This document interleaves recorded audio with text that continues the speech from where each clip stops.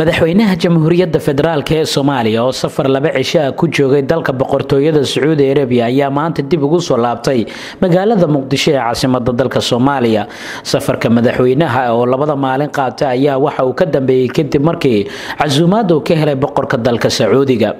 Wafdiga madaxweynaha waxaa ka mid ahaa wasiirka arrimaha dibadda ee dowladda federaalk ee soomaaliya yuusuf garaad cumar waxaana mas'uuliyiinta dowladda halkaas ay kulamo ay la qaateen mas'uuliyiinta ugu sareysa dalka sacuudi arabiya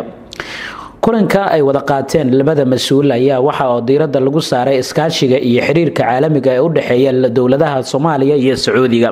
arinta ayaa waxay ku soo aaday iyada oo qaar ka mid a maamul goboleedyada dalka ay sheegeen inay la safteen xulafada sacuudiga uu hogaaminayo kadib markii dowladda sacuudiga ee xiriirka ay u jartay dowladda qatar bishii juun ee sanadkan. Xiisadaas ayaana waxa ay ka dhalatay in labada dowladood uu xumaado xiriirkii ka dhexeeyey iyadoo dowladda federaalk arrintaasi ka qaadatay go'aan dhexdhexaadnimo. ah lama oga in labada mas'uul ay ka wada hadleen arrinta la xiriirta go'aanka dowladda ay ka qaadatay dowladda qatar xiriirka ay u jirtay sacuudiga. Maxamed ciise maxamuud somaali cable t v muqdisho